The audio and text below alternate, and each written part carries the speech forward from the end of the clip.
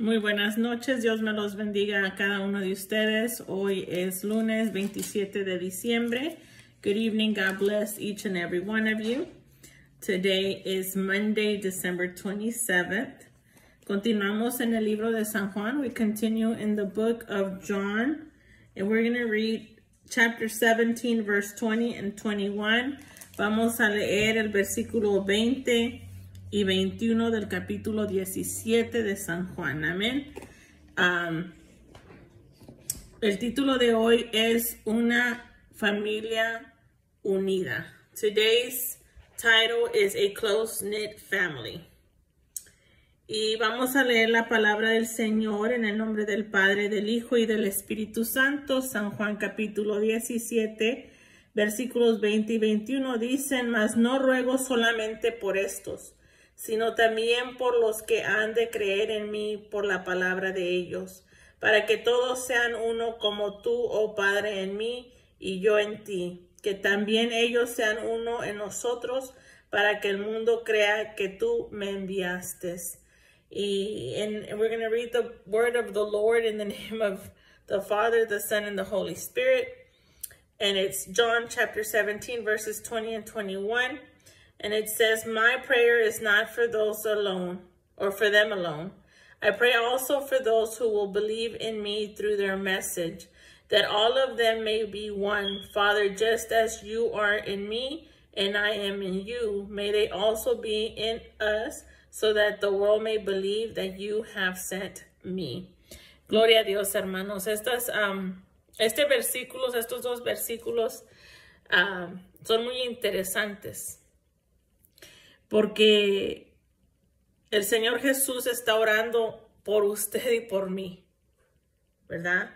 Porque dice, no solamente ruego por estos, o sea, no solo oraba por sus discípulos, sino que también estaba orando por los que iban a creer en Él, por la palabra de Dios. Qué hermoso es eso, ¿no? Que usted y yo venimos a creer en el Señor a través de su palabra porque nosotros no lo vimos, nosotros no anduvimos con él.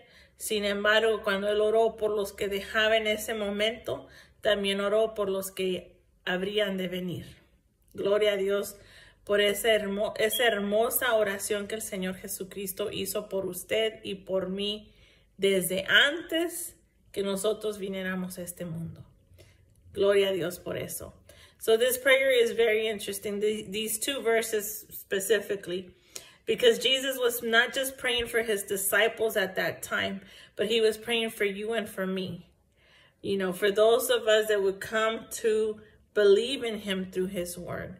And exactly as he prayed for us before we ever we before we were ever made it into this world, he had already prayed for us just like he had prayed for his disciples. He prayed for us that we would one day come and believe in him. Even though you and I did not actually know him. We know him through his word and by faith, but we didn't walk with him. We didn't get to hang out with him. Yet we believe, and the Lord prayed for us since then, since before our creation. Amen.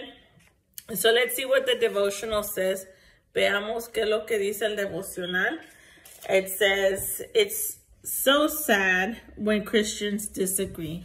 Es bien triste cuando los cristianos están en desacuerdo, especially when their arguments are over things that have no importance in the realm of eternity. Especialmente cuando sus discusiones son sobre cosas que no tienen importancia en el, real, el realmo de la eternidad. Um, Jesus prayed for unity with other believers. Jesús oró por unidad con otros creyentes. All who call Jesus their Savior are in his family. Todos los que llaman a Jesús su Salvador están en su familia o son de su familia. When Christians argue and criticize one another, it takes attention away from the message of Jesus' love for the world. Cuando los cristianos discuten y se critican los unos a los otros, quitan atención del mensaje de Jesús sobre el amor por el mundo. It certainly doesn't make life as a believer attractive to those you're trying to bring to faith. Ciertamente no trae uh, la vida de un como creyente, no lo hace atractivo para aquellos a los cuales estás tratando de traer a la fe. Jesus prayed that his followers would, would live in unity with one another and with him and God. Jesús oró, Jesús oró para que sus seguidores vivieran en unidad los unos con los otros y con él y con Dios. That's the best way for unbelievers to see the truth of his life. Esa es la mejor manera para los que no creen para que ellos puedan ver la verdad del amor de Dios. Amén. Hermanos, cuando nosotros nos estamos, eh, como dice aquí, criticando y discutiendo, ¿verdad? Ese comportamiento no atrae al que no cree.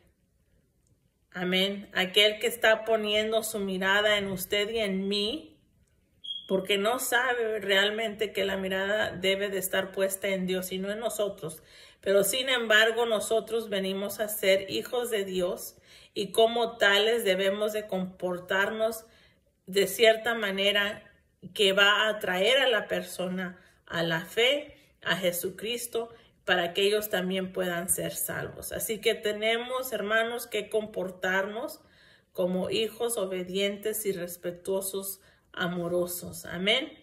Para que los que están en el mundo, los que no han creído en el Señor Jesucristo, los que están atados desafortunadamente por muchos pecados como la idolatría, como la religión, eh, todo eso, para que estas personas puedan ver, hermanos, frutos buenos y dignos de nuestro Señor Jesucristo. So definitely when you and I are out there criticizing each other, arguing with one each other, with one another, especially if we're believers, amen, then we are not giving a good example of the true children of God. We must behave, we, we must be obedient, we must be respectful and loving. Amen. So that those who are in the world, those who do not believe, those who are still um, hooked on sin, such as idolatry and religion, amen, that they can see the good fruits in each and every one of us and therefore believe by faith in Christ, amen, and that they may also be saved, amen. Uh, I'm going to go ahead and finish off with Psalm 133, verse 1. Voy a terminar con el Salmo 133, versículo 1. Y dice, mirad cuán bueno y cuán delicioso es habitar los hermanos juntos en armonía. And it says, how good and pleasant it is when God's people live together in unity. amen. Praise the Lord. Amen. Because when we are together, those are that are of the same faith, when we are together, it is good and pleasant that we live in unity.